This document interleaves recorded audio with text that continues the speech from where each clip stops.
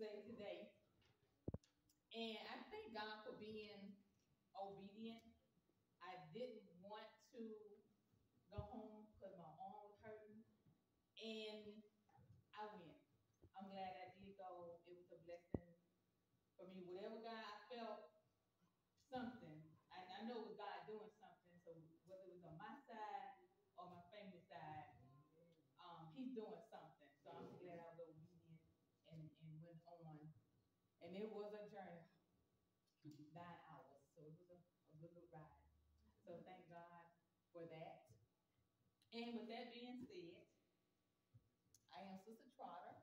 Do we have any visitors in the building today? So we all at home. Amen. So I want for you to pray and be obedient welcome the Holy Spirit into your heart, your mind, your soul, and your body. So you can make that choice for Him to be in your life